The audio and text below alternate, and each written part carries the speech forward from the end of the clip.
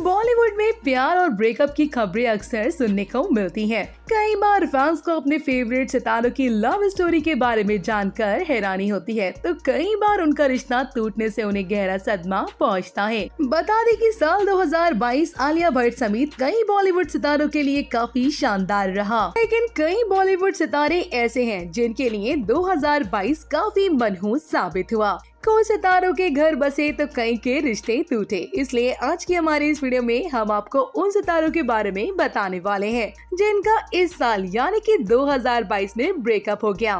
तो चलिए बिना देर के वीडियो शुरू करते हैं और जानते हैं उन सितारों के बारे में। नंबर फाइव ईशान खट्टर और अनन्या पांडे। काली पीली फ़िल्म में नज़र साथ आए ईशान खट्टर और अनन्या पांडे की दो साल पहले लिंकअप की खबरें सामने आई थी कि दोनों एक दूसरे को डेट कर रहे हैं। लेकिन पता नहीं कुछ महीनों के अंदर ऐसा क्या हो गया कि दोनों ने अपने अपने रास्ते अलग कर लिए, जिसके चलते अभी किसी भी इवेंट में साथ नज़र नहीं आते। नंबर फोर, टाइगर श्रॉफ और दिशा पटानी। दोस्तों, आपको बता दें कि टाइगर श्रॉफ और दिशा पटानी के बीच बेहद अच्छी अंडरस्टैंडिंग थी।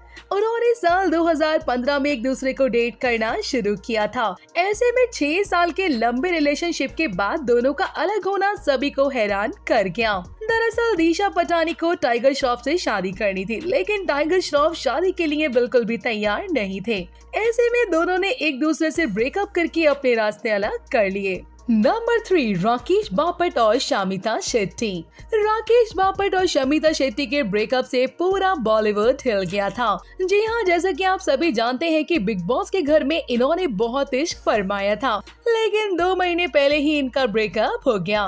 नंबर टू सिद्धार्थ मल्होत्रा और क्यारा अडवाणी दोस्तों, सिद्धार्थ मल्होत्रा और क्यारा अडवाणी के ब्रेकअप से तो पूरी दुनिया वाकिफ है। इन्होंने दो साल के अंदर अंदर शादी का प्रॉमिस करके अचानक पर्सनल प्रॉब्लम की वजह से एक दूसरे को छोड़ दिया। बता दें कि क्यारा ने ये तक कह दिया था कि वो सिद्धार्थ मल्होत्रा से शादी नहीं करेंगी।